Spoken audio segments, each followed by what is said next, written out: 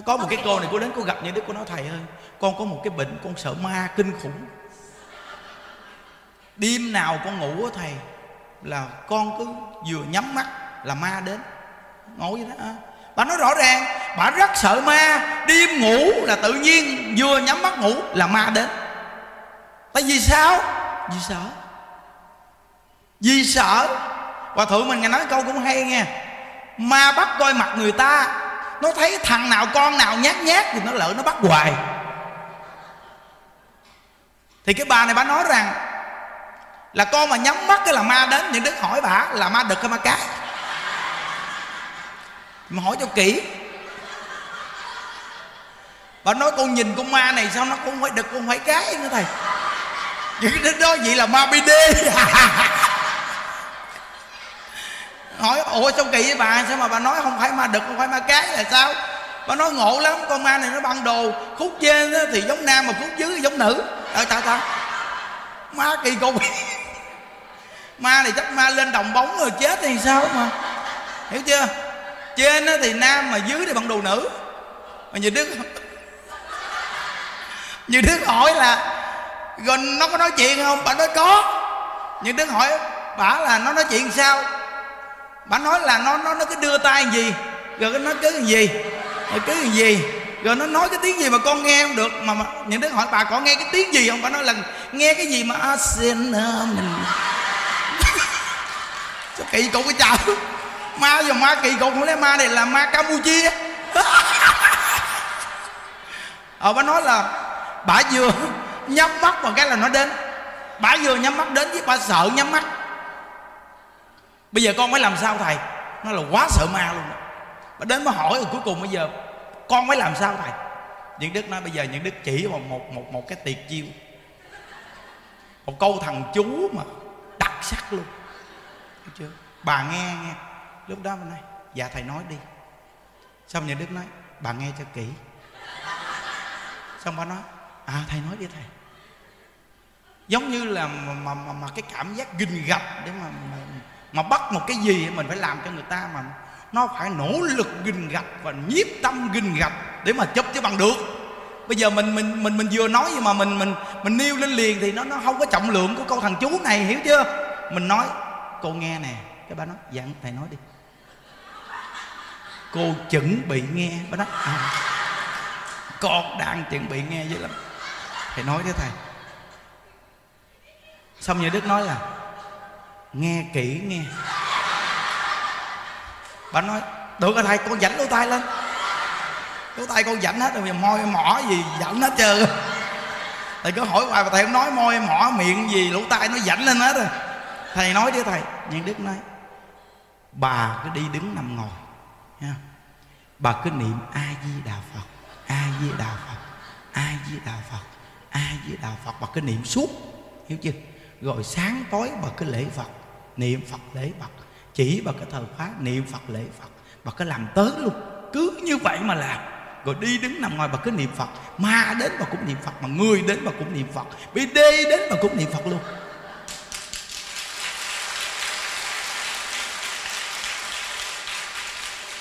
Thì lúc đó bà đã có nói rằng, ủa, chỉ có vậy thôi hả thầy? Những đức nói, chỉ có gì chứ bà muốn gì nữa? Xong nó nói, trời ơi, vậy mà tưởng đâu cái gì. Cái thấy không? Thiếu lòng tin. Thiếu lòng tin thì làm sao thành công được? Nếu như mà chăng thật mà tin mà áp dụng đi, bởi vì sẽ thấy cái câu thằng chú nó lợi ích cỡ nào. Tất cả những người sợ sệt, nhút nhát, không quyết đoán, chỉ cần siêng năng niệm phật là người này sẽ sanh ra một cái tâm quyết đoán liền.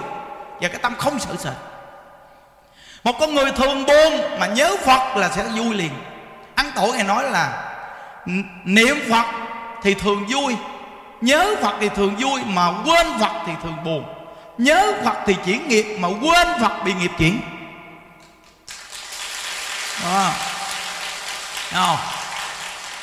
nên một câu Phật hiệu này mà chúng trong chùa sống vui, sống an lạc, sống thường cười chỉ có một câu Phật hiệu này thôi. Và 15 năm nay như Đức đi tu chỉ có một câu Phật hiệu này mà áp dụng trong cuộc đời mình, mà thay đổi được cái cuộc sống của mình, thay đổi được cái số mệnh của mình. Và mình thường vui và đỡ hô. Vì nghĩ đi, đỡ hô luôn.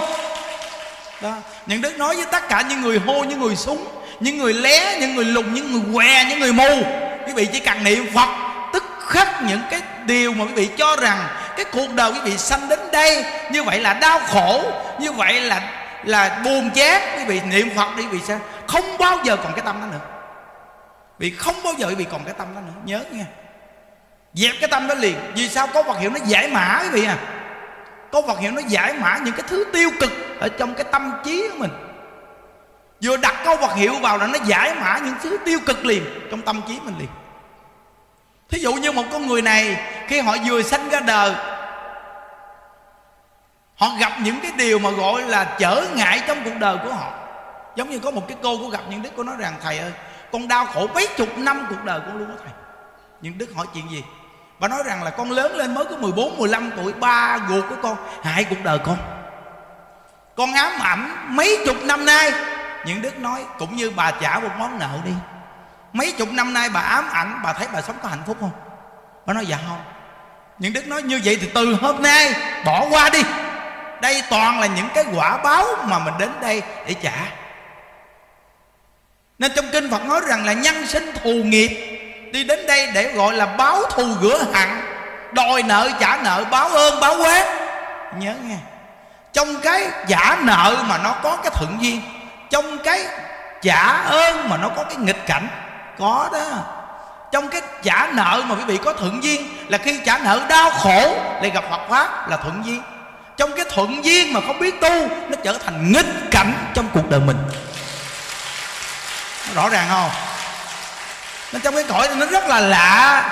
Đòi hỏi là mình có trí tuệ để nhìn nhận ra được cái mà mình gặp hay không? Có khi cả cuộc đời mình toàn là gặp cái gì đâu không à? Nhưng mà may mắn cuối cuộc đời mình, gần hết cuộc đời mình lại gặp của báo. Đó là gì? Gặp người dạy mình niệm ai với đà phật. Đây là của báo vô giá đó quý vị ơi. Những đức nói thiệt á. Đây chính cái cuộc đời của mình nè.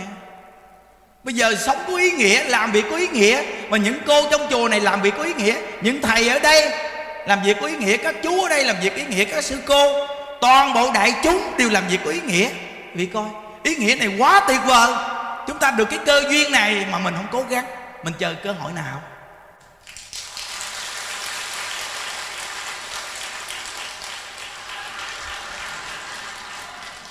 Lao hoài, nó không có cái xuống mà chơi hết luôn. Rửa mặt bằng mồ hôi luôn. Nhưng mà quý vị thấy những đức mà khi mà lên cái cái cái mục giảng, quý vị thấy mặt đẹp không quý vị?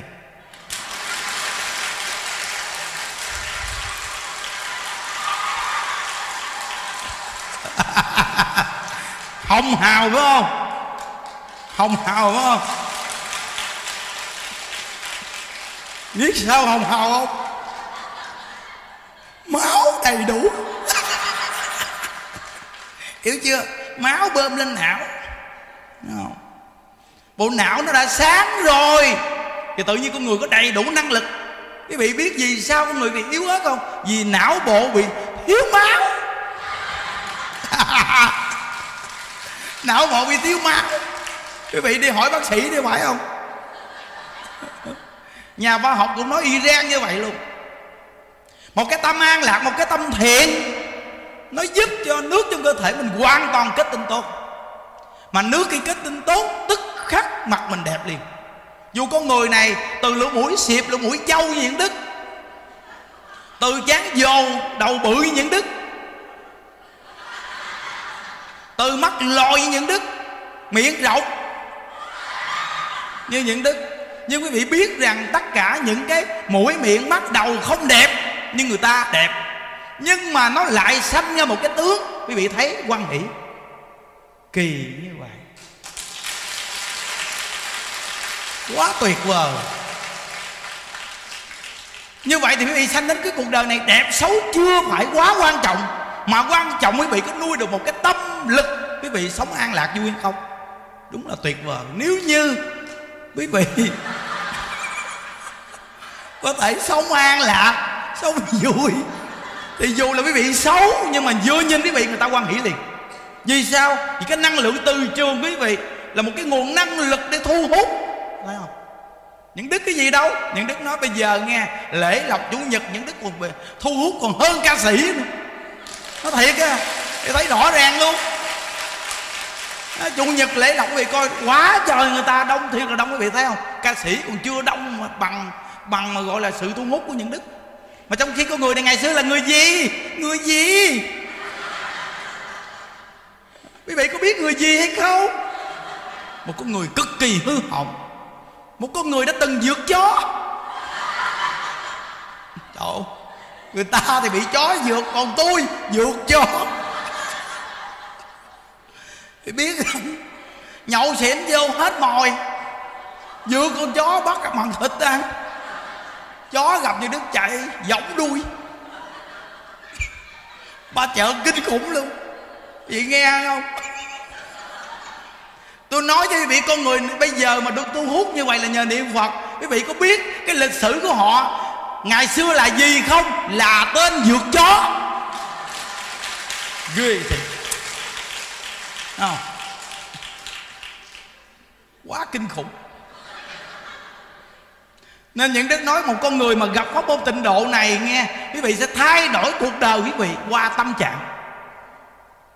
Nên một con người mà mang một tâm trạng buồn, những đức nói thật sự quý vị, rất thiếu phước. Đi mang một tâm trạng buồn vì một cái tâm trạng buồn sẽ không bao giờ giải quyết được tất cả những vấn đề gì trong cuộc đời này hết. Buồn cũng như là chúng ta bị rối trí đó. Càng rối càng rối càng rối. Có những việc trong cuộc đời này buông được thì buông, có những việc trong cuộc đời này không buông được thì đừng nên cố buông. Mà nên gây dựng một nguồn năng lực rồi tự mình sẽ buông được. Hiểu chưa? Giống như bây giờ những đức chỉ có một mét sáu mươi bảy. Mang dép cao thêm chút. Còn bỏ ra dép xuống thì còn mét sáu mươi lăm. Hiểu chưa? À, thấy chưa? Bây giờ tôi gặp cái thằng mỹ một mét bảy mươi lăm. Nó lợn nó thách đấu với tôi. Nó hỏi mày là người việt nam bị lùn không phải người việt nam mình lùn mà tại tôi lùn nó nói tôi là người việt nam bị lùn tao là người mỹ, một m bảy mươi lăm. Không? Nè, bây giờ tao thách đấu với mày. Mình nói, ngon mày nhào vô. Nó trên nó gọi xuống một cái nằm đống im gu. Trong tay đập ba cái không ngồi dậy thua thì nhân đức nói rằng mày chờ xem. Có một ngày tao sẽ báo thù cho mày biết. Ý muốn nói rằng có những việc trong cái cuộc đời này mình không đủ năng lực buông và mình chưa bỏ được. Phật Pháp vẫn cho mình cơ hội để gây dựng. Chỉ cần mình kiên nhẫn, mình quyết chí Mình sẽ buông, mình sẽ bỏ. Mình là một con người ác, Phật Pháp sẽ cho mình cơ hội, Từ từ, mình sẽ thiện. Cũng như tôi, hồi nãy tôi nói, Tôi chỉ có một mét sáu mươi lăm, Gặp thằng Mỹ một mét bảy mươi lăm. Nó gọi một cái, Nằm một đống, trọng tài đập ba cái, tôi nằm im gu, thua. Nhưng khi tôi ngồi vậy, tôi nói, Mày chơi xem.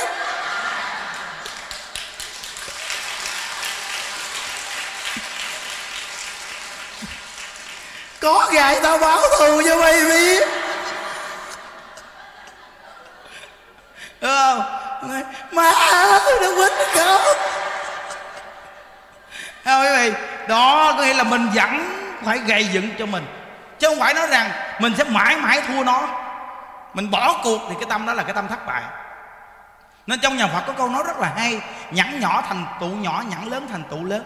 Chỉ cần bạn có mục tiêu, bạn có phương hướng, bạn chỉ gây gây dựng lâu, bạn sẽ thành công.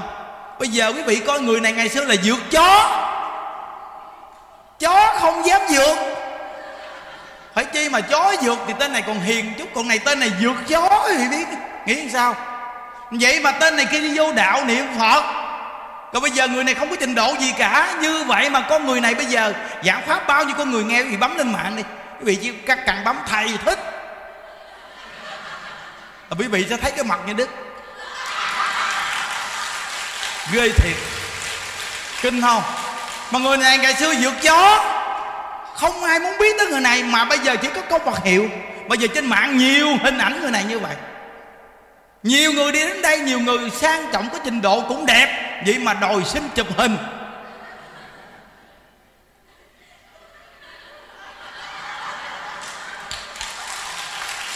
Kinh không?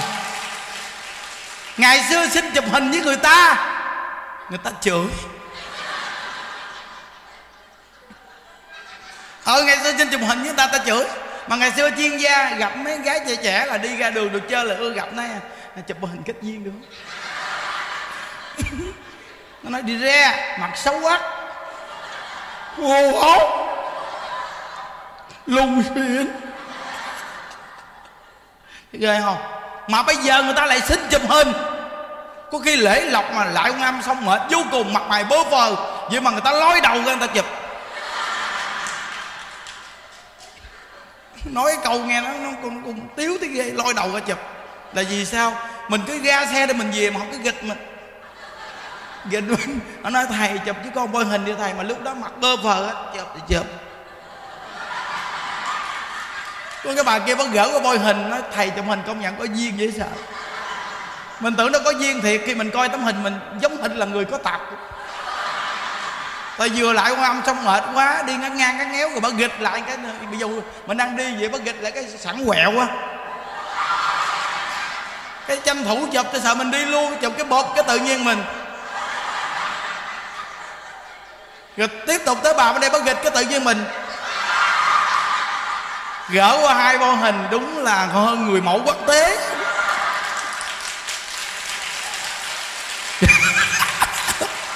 Thấy không? Trời ơi bị coi á. Mà người này ngày xưa gì đâu mà bây giờ ta gịch người ta chụp hình vậy đó. À, quá trời luôn.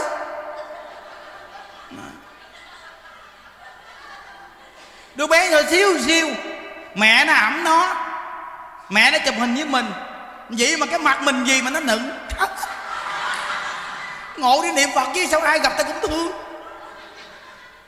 Bữa đó ở dưới hôm qua chủ nhật cái gì nè? À đúng rồi ăn cơm nhà ăn xong chạy xe đạp vòng vòng. Mà xe đạp giống xe khỉ. Tướng lùn mà chạy xe đạp lùn chứ sao? Mà chơi cái cái số xe đạp mà nhanh đạp giống như không đạp. Đạp như không đạp với cái số cái số xe đạp mà đạp như không đạp, phải không? Đạp mình chạy, bộ mình chạy cũng cái vẻ nghiêm nghiêm rồi chạy. Bốn con nhỏ gái đến chùa. Chắc nghe pháp mỗi tuần chủ nhật. Fan hâm mộ gì sao không biết xong đi ngang, mình đi ngang, mình gặp ai vậy đầu vợ. Bà mặt cười chảy kỳ lắm. Tại vì mới ăn cơm no ra mà sao cười nổi? Chạy xe đạp nữa, đang chạy ngang. Tự nhiên bốn cô gái đi vô nghe pháp. Mình thấy mình chạy xe đạp cái mình chạy từ từ, mình gặp mình ai với đạo phật xong vừa phớt ngang cái mình nghe. Trong bốn cô có một cô nói, công nhận nhìn thầy thấy cưng ghê. Nghe rõ ràng luôn. Công nhận thì ngộ ghê vậy thấy không? Cái người niệm phật nó lạ vô cùng, đâu có đẹp đẽ gì đâu.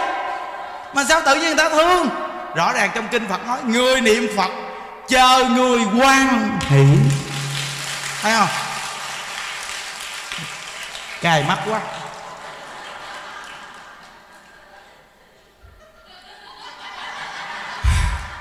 Đèn sáng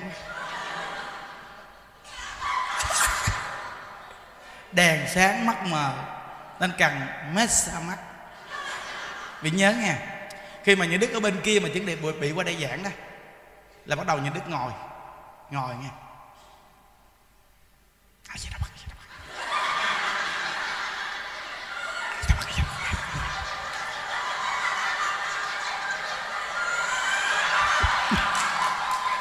Làm lia làm lịa chứ. Biết gì chưa? Để cái miệng mình nó nhại hiểu không? Nếu cái miệng nó cứng quá qua nói chậm nói không có không không thu hút. Còn con mắt mình nếu không là, là ngồi bên lâu mắt qua nó mờ. Đi qua mà nhìn người ta gì buồn lắm. Thì bên đó những đức ngồi những đức mép xa miệng xong mép xa mắt.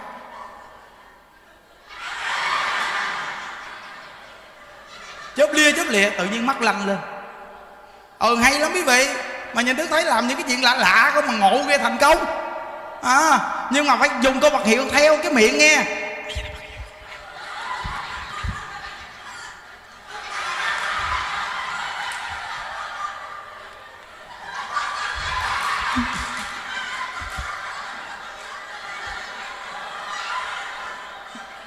Giống như cái la bàn như nó bị tứ hướng luôn. Các vị thấy rõ ràng phải không?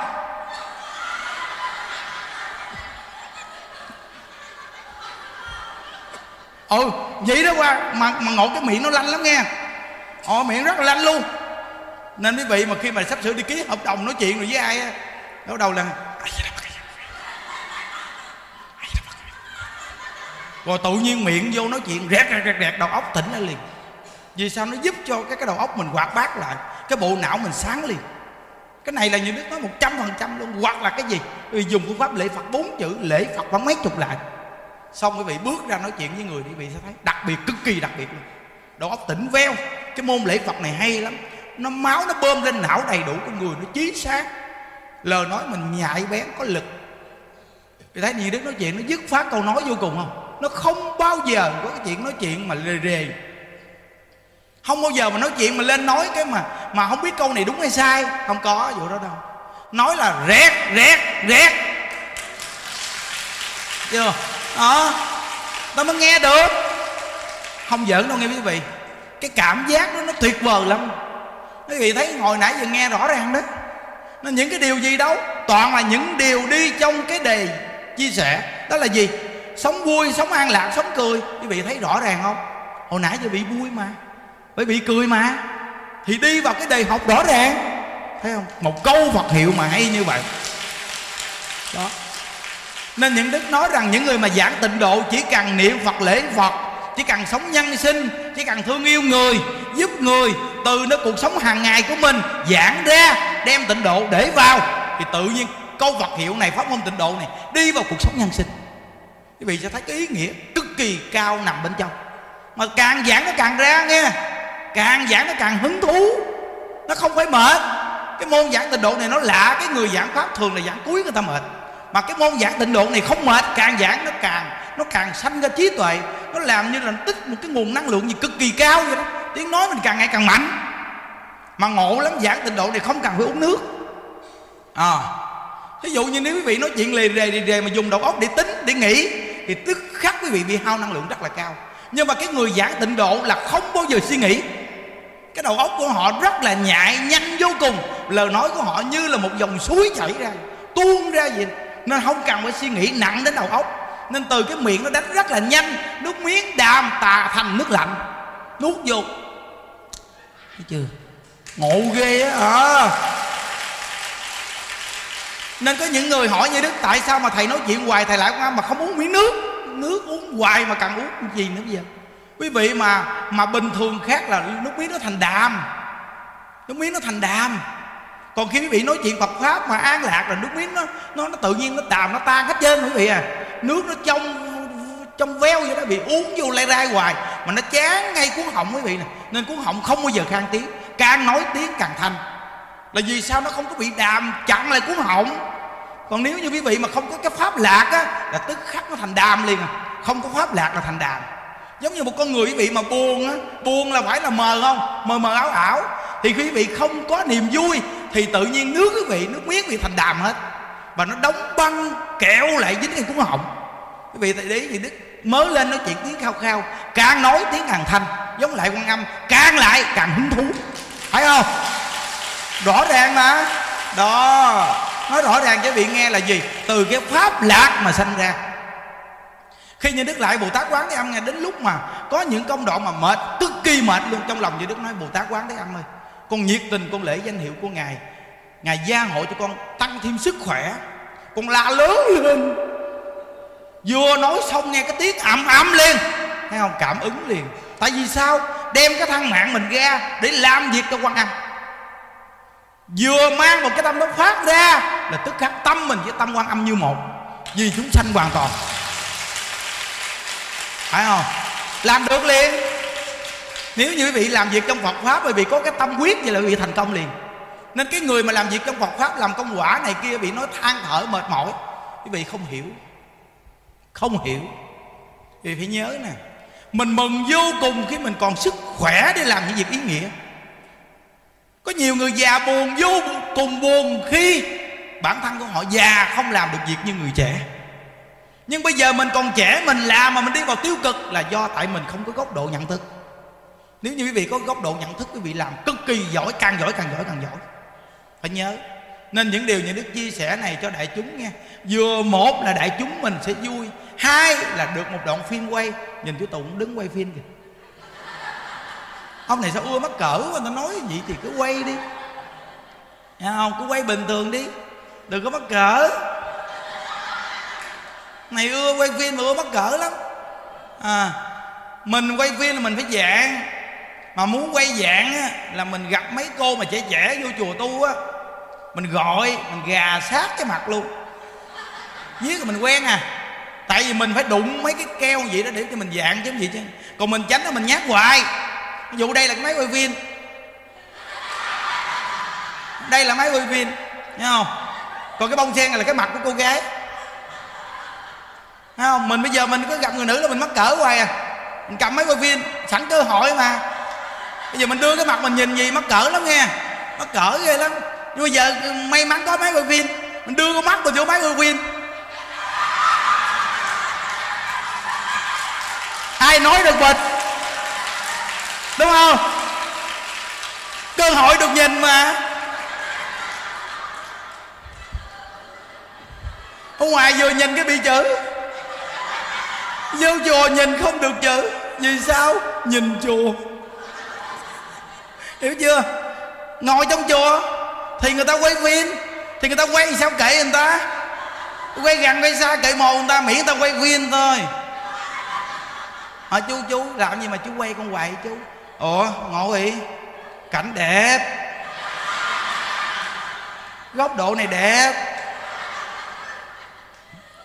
Quay phim mới nhìn được góc độ chứ cô.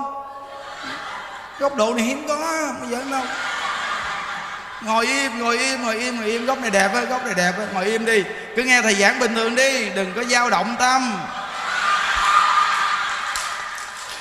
Đừng có dao động tâm, nghe không? Mà. Nên nhà đức chỉ cho tất cả những người mà quý vị đang ngồi mà người ta quay phim quý vị đẹp là bằng cách nào? Là tự nhiên. Quý vị cứ nhìn lên như đức quý vị cứ chú tâm nhìn lên đây. Ai mà với ngủ gục liền tôi mà tôi nói mai mốt là tôi, tôi, tôi ngồi tôi giảng ở trên là tôi tôi để cái video ở đây nè. Cái bà đạo với một ngủ gục tôi làm nè. Là hết buồn ngủ à. Đó nên mấy chú nè quay phim nè. Thấy ai ngủ gục đến gọi. À, ngồi sát bên. Đưa cái máy quay phim sát vô cái mặt. Là mở mắt ra liền tình veo một đó dòng dò chứ hiểu không? Quay phim phải có kỹ thuật. Hiểu không? Còn thấy cô này trẻ trẻ, mới vô chùa tu, quay cô đó cho nhiều. Để làm chi biết không? Để cho khi lên phim người ta thấy rằng á, ông thầy giảng có người đời, có người trẻ, có người đẹp, có thằng xăm mình, vô nghe luôn.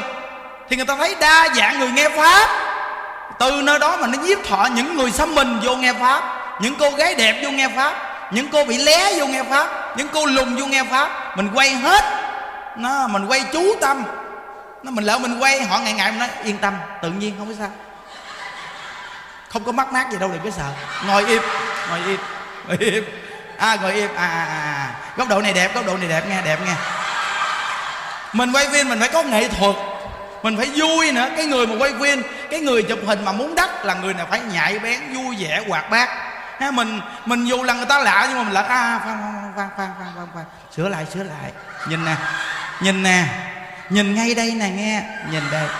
Đừng chớp mắt. Góc độ này chụp rất là đẹp. À. À đây là nghiêng nghiêng rồi nghiêng rồi nghiêng rồi. Rồi không được không được. Qua qua qua bên bên bên. À. rồi được rồi đó. Mắt chú tâm nhìn về đây nghe. Miệng cười. Á à, không không không không.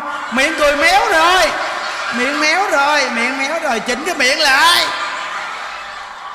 mình lỡ nghe mình lỡ mình sửa cái miệng rồi ha. Sửa lại sửa lại. Sửa miệng lại. Ừ, ừ, à được rồi. Giữ gì kia? Giữ gì kia? Vừa bước ra. Ô không được rồi. Méo nữa rồi. Trời ơi quay phim chỗ này chắc bồ wow la quá à trời. Quá vui mà. Quay phim một lần chụp hình một lần. À, anh chụp hình. À,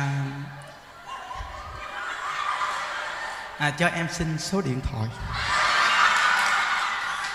Kết rồi với viên mà quá nhiệt tình.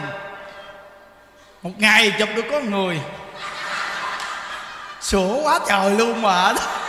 Đâu có chụp được ai đâu. Em mấy chú quay phim mấy dạng vậy đó. Nghe không? Thấy chú hiếu ông chụp mấy cô ông quay mấy câu chưa? Mà ông này là chuyên gia quay nhiều nhưng không lấy được bao nhiêu. Ông quay nhiều lắm mà ông lấy không được bao nhiêu biết sao ông bị cận thị? Ông cận thị. Quay mà có khi đem lên coi khuya lại á. Ông quay á, thì có khi được cung trên thì có cung dưới. Mà đưa cung dưới thì có cung trên. Tại sao ông cận thị mà? Mà ổng thì rất là nhiệt tình, ông gọi, đó là bình. Con lần hai ba cô kêu ổng nói, chú chú chú chụp giùm cho con tấm hình. Ổng lợi trời ơi ổng nhắm ông chụp nó quá trời chụp nhiều hình. Đem lên coi lại toàn quay phim còn không có tấm hình đâu chụp. Toàn quay phim không? Nói là mấy chú bên công nhận là số 1 luôn á. Văn á thì người ta kêu quay phim á thì chụp hình. Mà chụp hình thì thành quay phim. Giờ ông nói ông vậy mà ông gọi mấy cô cho đàng hoàng cái chừng ông gọi dính khúc dứ ông không có khúc dứ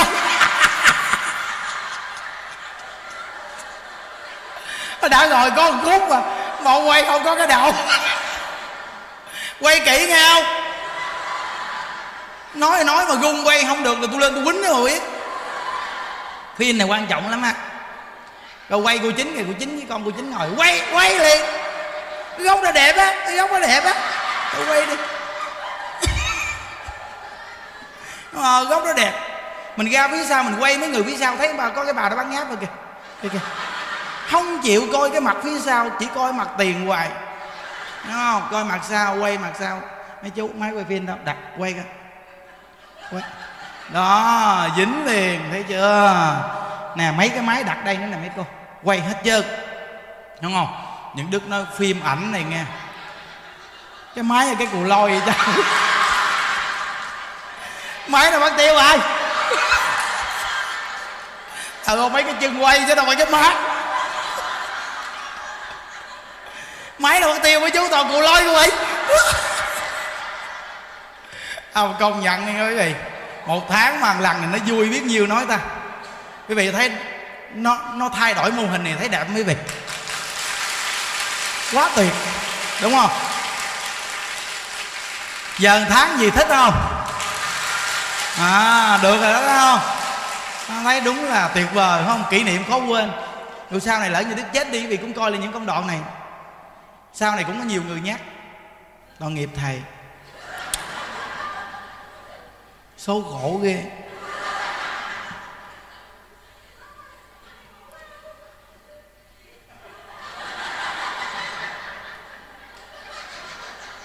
Số khổ lắm xưa cái hoạch quá gia đình rồi mà lòi ra. Số gì đâu mà kỳ cục ghê. Vô cái chỗ mà, vô cái chỗ mà người ta ngăn chặn. Mẹ đức ngày xưa là kế hoạch quá gia đình rồi. Không cho ra nữa. Những đức là cũng cái dạng ác ôn gì đâu mà nó chui cái tầm bậy tầm bạ chui vô. Gặp bà mẹ cũng đặc biệt. Bác sĩ nói đẻ này là bà chết. Có khi nó cũng chết luôn. Thôi bỏ nó đi. Bà nói một câu, đẻ được sáu đứa mà còn đứa không đẻ tội nghiệp.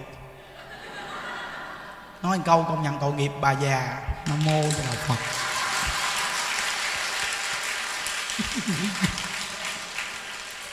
Lòng mẹ bao la như đường thái bình dạt dào dạ thấy chưa? Vô liền tôi nói dầu vô chứ. Thấy chưa? Vô. Bà mà bỏ rồi, giờ đâu có ngồi đây. Trời ơi, hồi xưa đẻ mà nói, nghe nghe nói có cùm tay. Nó xíu. Mà xưa đâu có cái kiểu mà người ta đi hấp điện hấp gì đâu. Ừ. bây giờ người ta giàu, người ta còn để nhỏ xíu, thiếu tháng, thiếu ngày, người ta đi hấp điện cho nó ấm. Mình bây giờ nghèo quá chết mồ luôn mà cơm gạo không đủ ăn nữa mà. Em út cháo chắc tùm lum tùm la cho sữa đâu cho bú.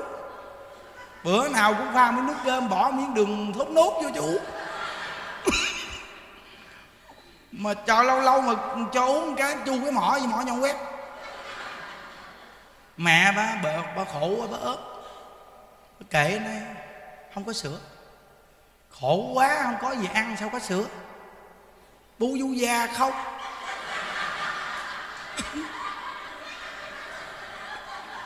mà mẹ với đứa bà nói những đứa kỳ cục lắm mỗi lần những đứa bú là những đứa cắn núm vú bà tát mấy lần cái mỏ nhọn quét luôn à kỳ cục ghê chợ là chợ mình ngộ xanh là nè mà, mà, mà kế hoạch quá gia đình xong mang bầu người ta hâm là sanh là chết mà bả gán sanh. Sanh ra thì nhỏ xíu. Thấy không? Thấy khổ chưa? Nó, mà èo ọt khó nuôi cực kỳ khó nuôi luôn. Mà lớn lên là không bao giờ chịu, chịu bận quần. À, không bao giờ chịu bận quần. Thích ở chuồng không bao giờ bận quần. Ở đây là số 1 luôn ở chuồng không? Chuyên gia bận một cái áo không bận quần. Mẹ đứng hỏi trời là trời lớn rồi con ơi bảy tuổi rồi bây giờ. Mày mày mày mày mày mày, mày ở chuồng tối ngày vậy? Nói con tiết kiệm. Nhà nghèo không có đồ nhiều. Bận áo gọi bận quần. Mát. Con lần chạy vô đồng từ nhà hay đức chạy vô hàng còng không? Đi vẽ thù lù à? Mà chỉ có cái áo cái quần mà chạy chạy vô đồng, nhõng nhõng nhõng vô đồng. Này là nói thiệt một trăm phần trăm luôn. Xong gặp ông em ông em ở trong kinh đào. Ông cầm tìm cái mát mát giót nhọn quét. Mà ông biết mình, ông biết ba mình là có thằng con, không chịu bằng quần. Kỳ cục trời ơi, mình đang bẻ thù lùn mình mình vừa bẻ thù lùn mình vừa bẻ trái ăn, trái bẻ trái ăn, trái. Nghèo mà đi kiếm ăn, mình lum tùm la, vậy đó. Chạy lông nhông ở trong đồng không nón, không gì hết. Chỉ có một cái áo không có quần. Khi lội qua đường bờ mà bị cắn te tôi kiến kiến cắn á. Ông cầm cái mắt dốt, cái dao. Ông cầm, ông này mày ở đâu? Nó trời trời, tôi đây chứ đâu. Tao cắt thằng nhỏ mày ông cầm cái dao ông dược mà chạy từ ở trong kinh đào mà chạy về tới nhà. Từ đó về sau, vừa tới nhà ông nói, mày từ hôm nay, mày mà không mặc quần là kể như mày thành thái giám. Mà mình có biết thái giám là gì đâu. Mình nghe ông nói vậy là mình ớn rồi. Vượt mình, từ đó về sau mặc quần luôn từ đó về sao bận quần luôn. Không mà mình mình mình kể lịch sử mình cũng lạ, nhiều cái lạ lạ lắm nha còn đi học thì sao? Lớn quá trời lớn, vô trường học. Ừ. vừa đi học, ba đức nói một câu, phán một câu là mình khỏe. Phán câu gì? Chỉ cần biết chữ, không cần học nhiều học nhiều cũng đi làm ruộng con ơi mình nói với ba mình câu, công nhận ba hiểu con. Kêu con học nhiều coi chừng con nghỉ học luôn. Nhờ nói học biết chữ nên con gán biết chữ. Không cần học nhiều ghê thiệt chứ. Học tới lớp 3 ở lại 9 năm. Kinh chưa? Nghĩa là những cái lịch sử nó rất lạ kỳ rất kỳ cục. Sau này mà khi mình chết đi mà đóng phim mình thì cũng cũng vui. Ừ, đóng phim cũng vui thấy không? Nó, quý vị thấy không? Từ nơi đó mà con người như vậy đó vậy mà gặp tịnh độ bây giờ gì? Thấy lạ không nhiều bạn bè gặp nó gặp như đứa nó chạy đến nói phải bạn không? Như đứa nói nó đó.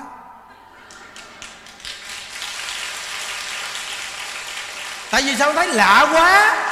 Có nhiều cái nói lạ cái làm lạ kỳ quá. Niệm phật mà tự nhiên vậy đó. Chị thấy không? Quý vị thấy cái sự diễn đạt của những đứa không nó diễn đạt rồi xong nó đưa tịnh độ vô. Gọi là tịnh độ nhân sinh cái cách giảng tịnh độ của chúng ta gọi là tịnh độ nhân sinh. Mà người nghe nó bị sống động quý vị. Nghe mà nó bị sống động, ngồi nghe mà mà mỗi tuần chủ nhật người ta không đến không được. Có cái cô kia nghe, cổ không đến chủ nhật. Mà quý vị biết không, tuần sau cũng đến, cổ vừa gặp như đó cũng khóc sức mướt. Cô nói rằng, trời ơi con mới thấy một lần mà không về chùa ngày chủ nhật mà nó buồn. Kinh khủng không? Có nghĩa là cái sức chia sẻ Phật pháp mà nó sống động đến mức mà nó làm cho con người ta vui, an lạc cái gì kỳ cục lắm. Thì quý vị biết rằng cái chuyện giảng tịnh độ này đúng là phải nhân sinh.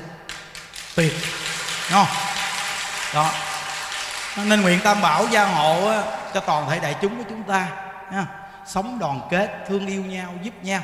Vì mình gặp được một cái nhân duyên này quá đặc biệt tuyệt vời rồi.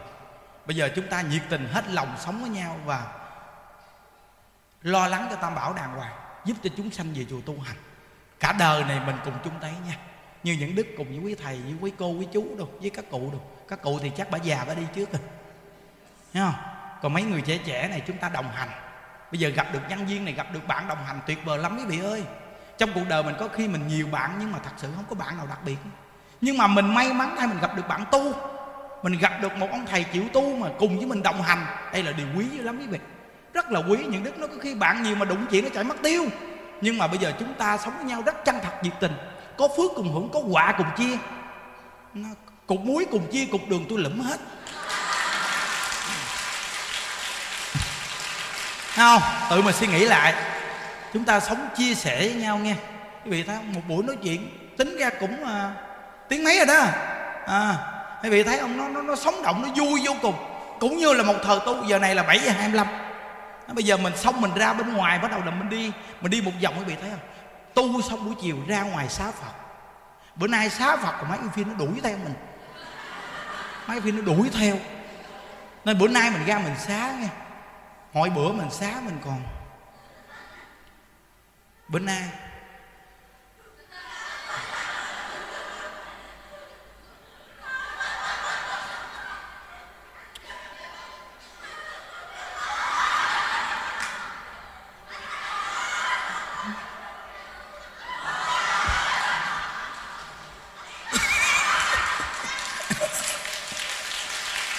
quay phim mà nó mấy chú gọi. Gọi gọi gọi gọi gọi gọi gọi. Gọi. Gọi gọi gọi gọi gọi gọi. Gọi thấy không? Gà tới gà luôn. Thấy không? Lấy cái đoạn làm đoạn cuối. Khi cái buổi này xong rồi sáng mai có phim. Thấy không?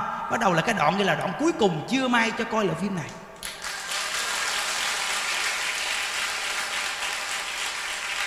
Hình ảnh tôi có nhiều mà tôi lấy hình ảnh mấy người trong chùa. Tại mấy người trong chùa đẹp hơn tôi. Hiểu không à, nghe cái đề học cái thấy à, hấp dẫn. Sống vui sống an lạc à, sống thường cười. Quý vị à, coi công đoạn này. Quý vị thấy à, người trong chùa chúng ta đây là một cái đại gia đình nghe.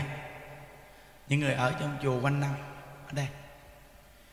À, bữa nay à, à, vừa bắt đèn lại nữa. À, cái phim này chắc quay à, đẹp hết nói nổi. Quá sáng luôn hả? À, giống như mình ở trong à, ngôi tam bảo niệm phật mỗi ngày giống như à, được phật quan phổ chiếu bao trùm mình. Nên nhìn người nào giống như cũng là quang minh phổ chiếu. Thì mặt tươi rót. À, những đức nói với mấy à, chú quay phim trong chùa quay à, kỹ à, từng người để cho gia đình của à, các cô các chú các cụ à, quý thầy đều coi được. Thấy à, ở trong chùa còn sống. Chưa chết.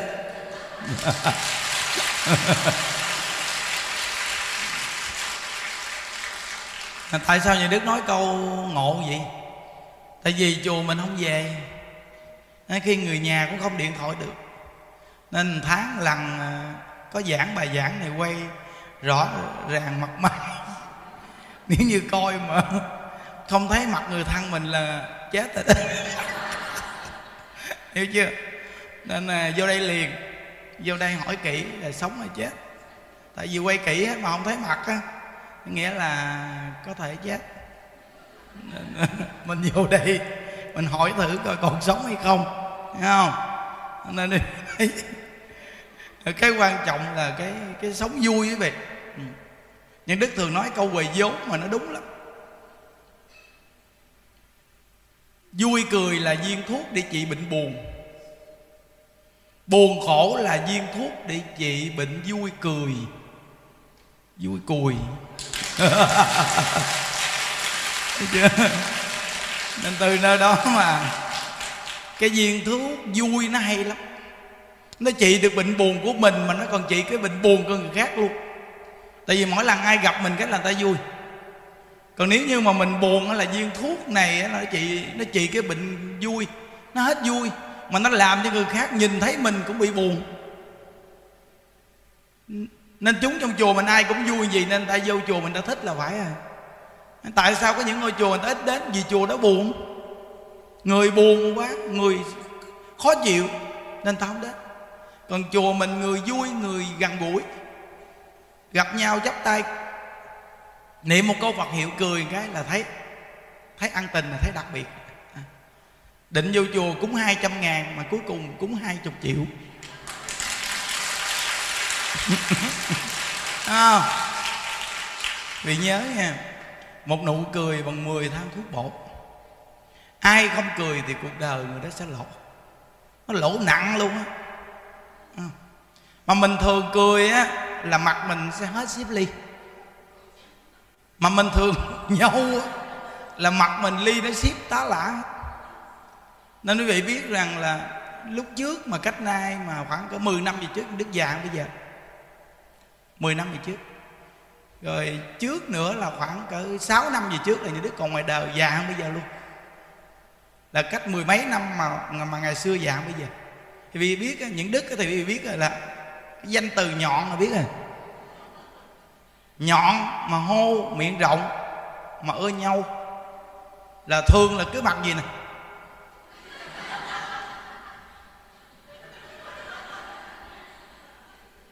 Làm cái gì cái là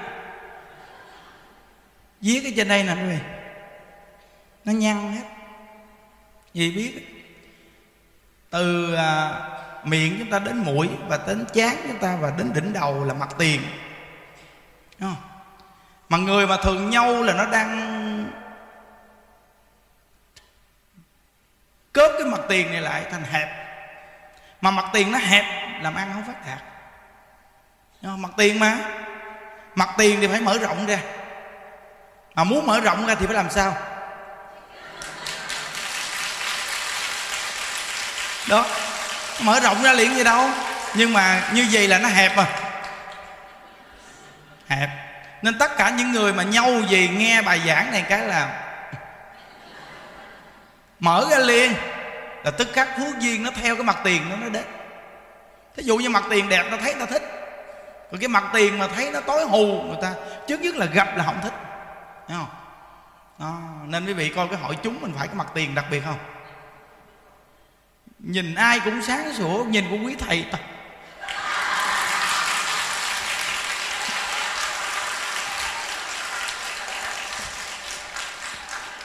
Quá chói còn quý vị nhìn lên những đức cũng thấy, quá chói đúng không? Đó. Nên nhìn xuống đại chúng thì quá sát, ừ. đặc biệt thì đúng là thầy dò sáng chói. Ừ. Cái này quý vị coi nè. Đây gọi là một cái hạnh phúc đặc biệt của một đại gia đình. Ừ. Mà đưa lên những tư tưởng này vì thấy đúng là phật sắp xếp. Tự nhiên chùa nó có một cái sự sống động gì sống trong ngôi tam bảo mà gọi là nó có một cái sự mà mới mẻ. Ngày nào cũng đi tu lâu lâu cái tự nhiên lên ngồi nghe pháp ngưng niệm phật bữa ngồi nghe pháp chơi vậy đó. À, cười chơi vậy đó được không? Thấy chưa? Thì thấy đúng là quá mới mẻ không? Quá đặc biệt. Thật là mới mẻ nó thiệt luôn á. Ừ. mà khi mà những đức đưa lên tư tưởng này chúng mình như ai cũng quan hệ thật sự mà nói cuộc đời mình đi đến đây cũng phải để là cái gì chứ? Thầy thì mỗi ngày trên mạng quá nhiều, còn con không thấy trên mạng lần nào. Bởi vì mình nghĩ cho người ta quý vị. Có nghĩa là những ngày chủ nhật, ngày lễ làm quá trời luôn, không được lên trên đây ngồi. Khi sống trong đây với thầy, mà toàn thầy giảng ngồi ở trên chánh điện giảng cho người ta nghe không? Có khi coi thì coi qua tivi này kia, ít bao giờ ngồi trực tiếp gì? Mà bây giờ tự nhiên cỡ mở ra được chỗ này.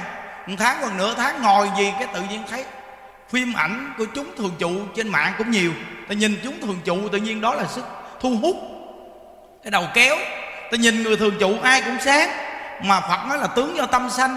Mà cái tâm nó phải an lạc, cái tướng mới đẹp. Còn nếu như cái tâm mà buồn, cái tướng sao đẹp? Nên từ nơi đó mà nhìn cái tướng của đại chúng. Cái tướng quý thầy, tướng quý sư cô tướng, các cô, các cụ, các chú là biết rồi. Biết làm sao rồi?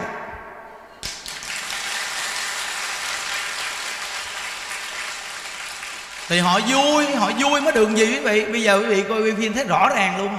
Sáng suốt không? ở đây là một cái hội chúng, đúng là một đại gia đình.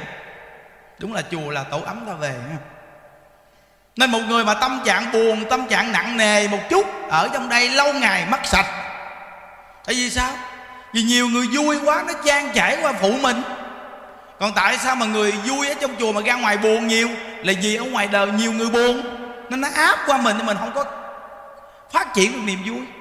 Nên quý vị nào phật tử khắp nơi nơi mà đi vô chùa mình mà gặp một người buồn, là số quý vị thật sự mà nói.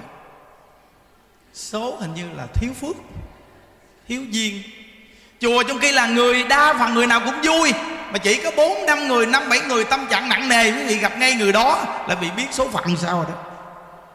Số phận này phải siêng năng niệm phật lên mới được. Tại vì nó không được duyên phước đầy đủ mới gặp ngay người đó. Quý vị mà đi vào trong chùa mình mà gặp thường trụ mà người nào mà than, buồn quá, là quý vị biết quý vị rồi đó. Duyên phước quá thiếu. Bao nhiêu con người vui không gặp mà gặp ngay người buồn, thấy không? Tại vì sao?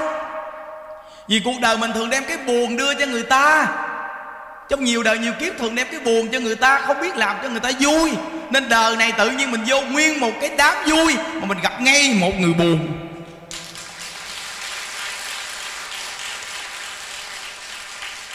Mình có thường đem cái gai gốc cho người ta, nguyên một vườn hoa đẹp, toàn là hoa thơm. Hoa đẹp không mà mình ngắt ngay cây hoa mai dương, gai không thấy chưa? Mình nói, tại sao cái số phận tôi như vậy?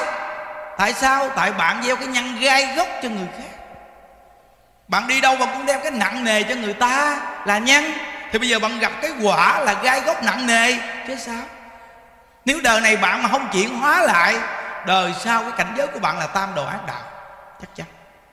Nên mỗi một con người chúng ta, quý vị phải nhớ rằng là niềm vui là chất dinh dưỡng cao cấp nhất thí dụ như điện đủ, quý vị thấy đèn sáng chưa? Nếu điện này mà thiếu thì đèn giật giật giật giật. Nói chưa? Còn nếu như đèn dầu mà hết dầu, là người hết duyên, hết phước, là đèn tắt. Nên chúng ta là người tu hành, người niệm phật, người ăn chay, người phóng sanh, là năng lượng của chúng ta lúc nào cũng tràn đầy. Chúng ta phải tạo ra cho mình một cái nguồn năng lượng cực kỳ cao. Để làm chi? Để mình luôn luôn trang trải cho tất cả những người thiếu năng lượng à. vì thấy bước lên cái là con người nó hừng hực cái tâm liền thấy không? Con người sao mà năng lượng nó đầy đủ dữ vậy? bước lên mà gọi là người ta thì còn rô đai. Ít gì cũng 15 phút nó mới cái máy này nó mới, mới, mới chạy nhanh được. Còn cái này lên một cái là chơi tốc độ. Đúng là cái bộ máy thì quá mạnh. Gọi là tốc độ tăng tiến vừa bước lên là cắt bánh đầu liền, còn chạy một bánh luôn. Bị biết quá dữ.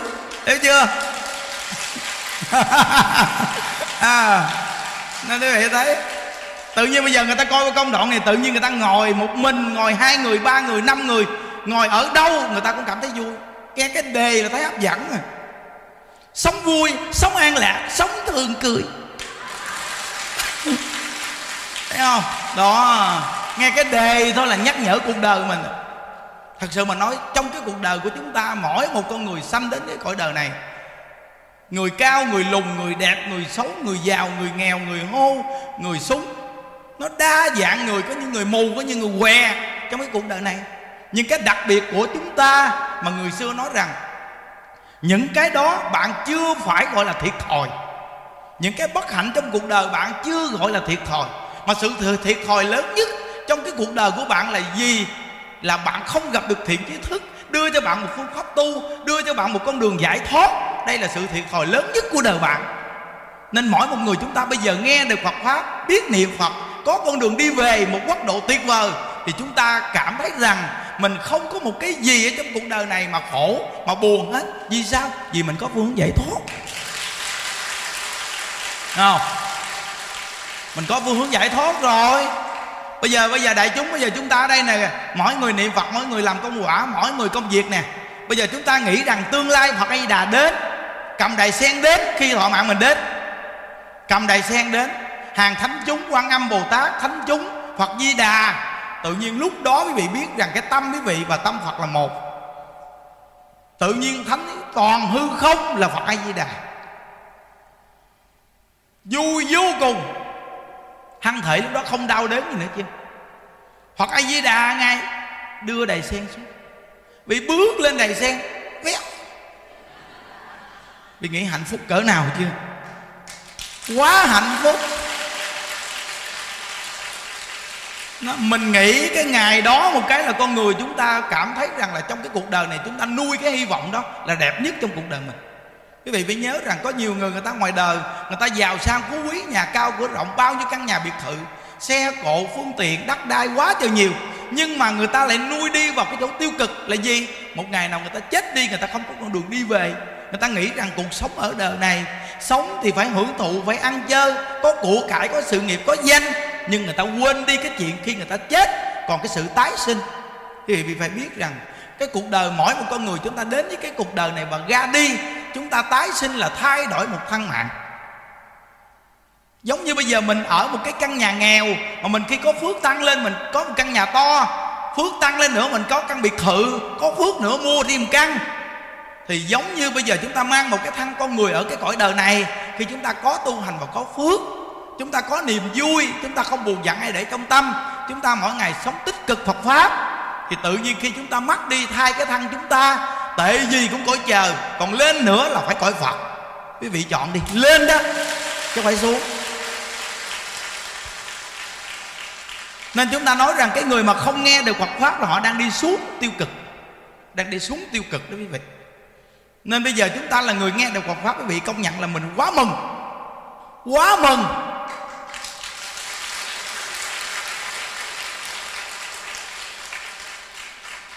Vỗ tay chút hết giảng.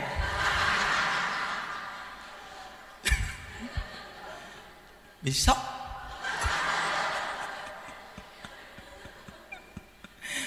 Biết rằng nên từ nơi đó mà cái ngồi cho công chúng mà làm cho người ta vui thì cái chuyện đó nó phải cần cái gì? Niệm phật. Tại vì sao? Đức phật a di đà ngài còn danh hiệu là một vị phật quan hỷ. Nên cái người niệm a di đà phật mà cái mặt rầu rĩ là không phù hợp. À, không phù hợp. Cỡ nào thì cỡ cái mặt bèo gì cũng là.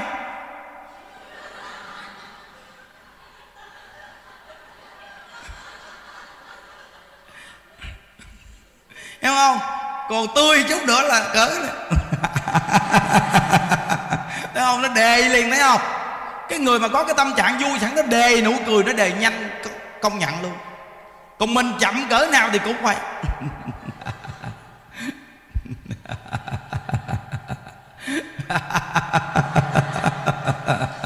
không? lên từ từ chứ. Đó. Bây giờ những người mà không cười được á, thì phải tập cười một mình. Bây giờ sáng thức dậy, đứng nhìn vô tấm gương, trong nhà vệ sinh hay nhà nào vậy đó, phòng ốc vậy biết. Đứng nhìn vào, lúc đó mặt bù xù chưa rửa mặt luôn vừa ngủ thức dậy. Thấy không? Bắt đầu nhìn vô tấm gương. Trước nhất là thí dụ như ngủ đêm đó mình đút miếng chảy hai bên còn dính, thì mình le cái lưỡi ra mình liếm. Nó là một cái nền cho mình mắc cười á, hiểu chưa? Nhìn mình sao nó ngộ quá, mắc cười á. Rồi bắt đầu là mình chưa cười được liền, thì bắt đầu là mình niệm 10 có bạc hiệu. Xong mình tập cười, như thế nào?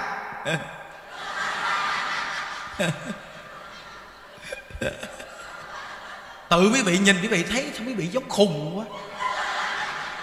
Rồi quý vị cười. Nó lạ như vậy. À mình nhìn mình giống như mình là cái thứ khùng bá trợn gì á.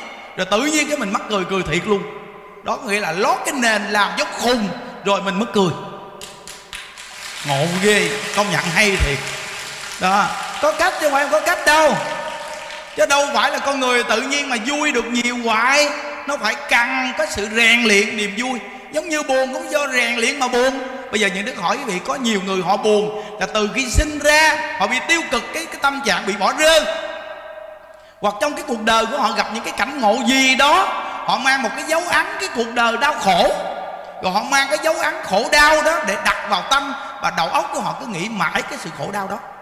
Rồi họ cứ thường buồn đó là tập buồn, nên họ buồn buồn buồn buồn. Có giỡn đâu nghe? Mà buồn đó là tập buồn á. Thì bây giờ sao? Tập vui lại, tập cười lại, tập vui lại. Thì tức khắc cái đoạn đường sau này vui. Công nhận hay thiệt. Quá hay. Thấy không? Bây giờ nhận đức nói với vị nghe chứ không thể nào mà giả trang được đâu quý vị. Không thể nào mà kêu cái hội chúng này lên đây vỗ tay mà cừ, mà khơ khơ vỗ tay gì được đâu. Họ phải có cảm giác thật sự là có sự thu nhiếp họ mới vui trong lòng của họ, mặt họ mới tươi. Chứ gặp mà họ lên đây mà họ vỗ tay, họ cười gượng cái mặt họ làm nè. Hoặc là họ vỗ tay làm nè.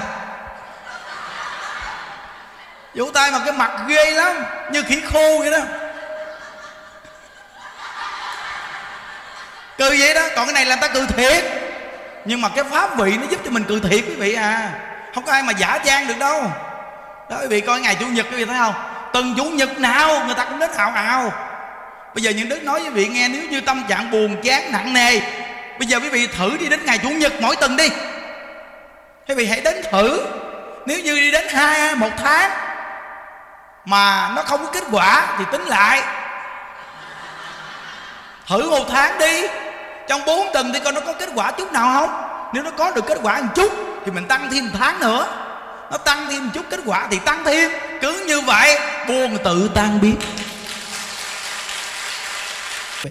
Nó mong rằng chúng trong chùa mình ai cũng vui khi hưởng được cái cảnh bình an này. Rồi quý vị cố gắng quý vị tu, để cuối cuộc đời chúng ta đều hẹn gặp ở tây phương cực lạc nha. Chúc quý vị an lạc nha quý vị ai như đà phật. Nguyện à, đem à, công à, đức